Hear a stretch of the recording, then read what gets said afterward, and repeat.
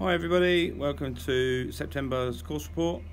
Um, it's the 6th of September and we've just finished our second maintenance week of the year, which was last week. Um, very successful. Uh, obviously the greens aren't the best at the minute because they're still a bit bumpy and a little bit sandy, but as you all know, uh, it's compulsory we do it so we get good greens for the majority of the year. Uh, so a little bit of pain, short-term pain for long-term gain. But um, moving forward into September, uh, Green Staff are now very, very busy. We've got a lot of projects coming up. Um, there'll be some sort of communication coming at you all at, at some point in the very near future. Uh, obviously, I'll keep you updated on course sports as well. What's moving, what we're doing moving forward. Um, we're trying to get as much done before the rains really set in. Uh, we don't want to get caught out like we did last year. Uh, we had a really wet winter. So, a little recap on August. Rainfall 64 mil, still on the high side, uh, not too bad. Weather-wise, I can't remember a summer with so much cloud cover as we've had this year. it's been quite painful at times. Um, not really a very good summer. Uh, although this week, uh, starting with the 6th of September, is meant to be rather warm. So enjoy our summer while it lasts. It's, I think it's going to be very short-lived this year. Um, we're all about in autumn already, but little bit of heat now at the end of September. So weather's been a bit it miss, um, but we still managed to get you know a reasonable amount done on the course. We're just about to kick off all the projects now um, after maintenance is finished. So very very busy, but all going in the right direction. I am currently standing on the fourth green, um, and as you can see, maintenance has been completed. So to run you through what we've done for maintenance this year, much the same as all the other years really, but we hollow to a depth of around two inches with a 3 8 of an inch tine. Uh, they was all then collected, scooped up and taken to the 13th to help with another project. We then double verticut the greens at a height of zero. So if you imagine we're cutting the greens at three and a half mil, so that's uh, verticutting three and a half mil below our normal height cut. Uh, we then double cut normally and collectively on all our greens put 30 ton of sand on.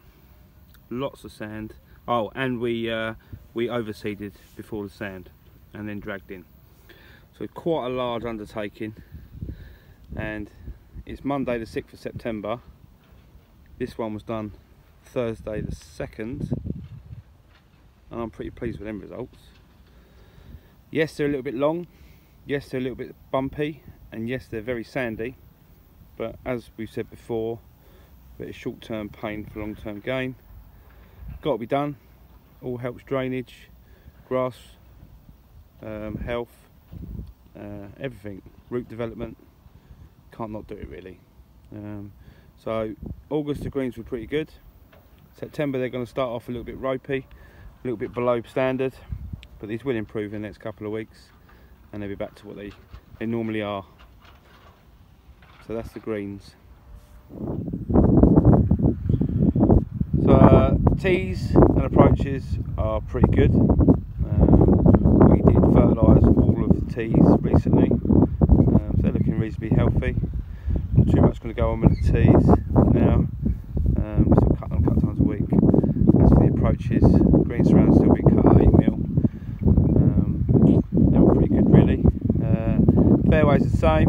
Um, all the fairways are doing alright apart from one, which I'll talk about in a minute, uh, that we're doing a bit of work to. But uh, on the whole, tees approaches and fairways are good. As far as the rough's concerned, um, obviously we did cut down certain areas uh, around the course to make things easier, mainly on the carries. We shortened some carries uh, for the men. We removed a lot of the carries for the women. Um, and the general rough itself, you know, I'm, I'm, a fan of the rough. Some of you are, some of you aren't. But um, we can't cut any more down now until we get the machine in that actually cuts and collects the long grass itself. The reason for this mainly is because when we cut these carries and that out, we nearly burnt the mower out.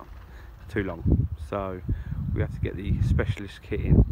Um, that's all booked and that is, you'll be pleased to know, that'll be coming in on the 15th of October, so about six weeks time. We can't get it any earlier that because every golf course is in the same boat this year and they all want the same machine. So unfortunately October the 15th, for those of you that hate the rough, is, uh, is when we start to cut and collect and to remove it all. Um, obviously those of you like the rough, probably not really looking forward to that date.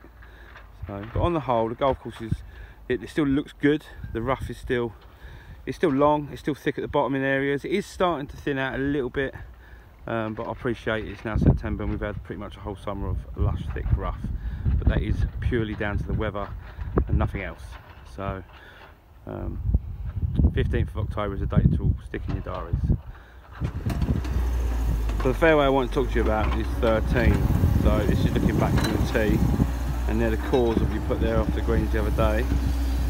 And if we pan round you'll see that we've started to smash it up. Uh, big 13 ton digger. Fairway and the semi all the way just shy of the green.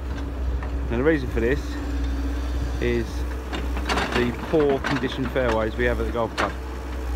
Um, the potholes the undulations the unfair bounces and sometimes fortunate bounces even more even more so the poor lies you can sometimes get um, so we decided to start on this one, a little short one, uh, as a tester really, before we, you know, we tackle some of the bigger ones in a few years time. So the plan is, we will knock the worst of it off of the digger, mash it up as best we can. Then we've got uh, some help coming in from external sources uh, to smash it all up even more so, and turn all the big lumps into smaller manageable bits. We will then come back try and level uh, best we can, fertilise seed and water. So the work should be completed hopefully by this coming weekend.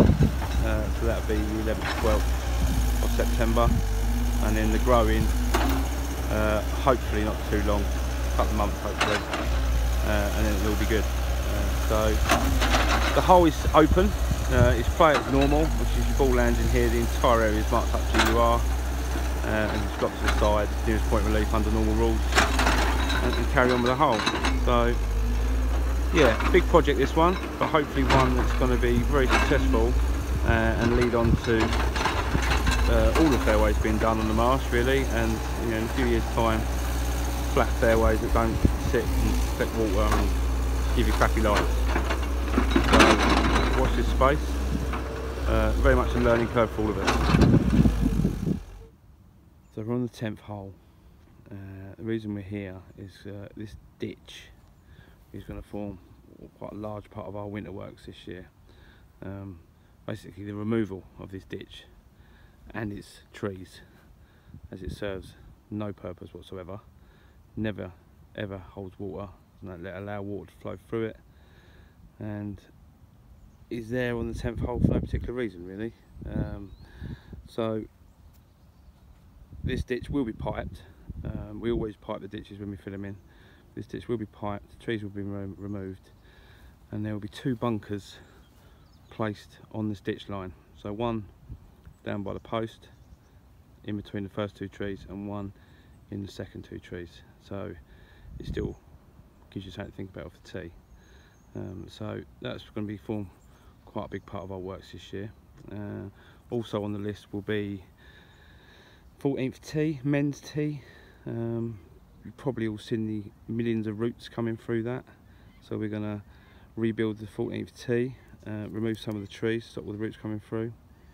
Uh, 10th tees, all of them, all, all genders, uh, all colours, uh, all mismatch 10th tee really. So we're just going to make one long, one long tee, um, new ladies tee on that. And then there's other areas like uh, the medal tee on 18, uh, which will be um, scraped back, re-levelled, returfed, same as ladies 11 and ladies 13. Um, so quite a bit again, along with the 13th fairway, uh, plus other little bits and pieces here and there. We've got a busy winter, winter ahead, but um, the big change on the golf course will be the removal of the 10th ditch and the introduction of two fairway bunkers. So that brings the end to this month's course report. Uh, in summary, this summer has been strange, uh, not very sunny, um, not very warm, quite wet. Grass growth's been through the roof. We've saved money on water, but what we've saved on water we've replaced with fuel. Uh, I've never cut so much grass in a growing season in all my life, so it's been a bit of a mad year. But um, summer's come at the end. Uh, we've got a bit of short spell of warm weather, so enjoy that while it lasts. Uh, hopefully winter's not going to be too horrific. Um, last year was, so hopefully we've had it for a while. But um, yeah, very busy moving forward. Um, lots of projects coming up, some coming to an end. The short game area will be very, very soon be open. Um, we mowed the green this morning at eight, uh, sorry, six mil. Um, so it's definitely it's definitely getting down. It's in the it's, it's three and a half out of course. So that's pretty much ready to be open soon, uh, along with the grass tee. So that'd be good. Uh, and then we'll start the next lot. So very very busy moving forward. Um, hope the weather plays ball. Um, as always, if you've got any questions, let me know. Uh, either in person when you see me out in the course or in the clubhouse, or through the office, or, or comment on any of our social media platforms. Alright then, see you soon.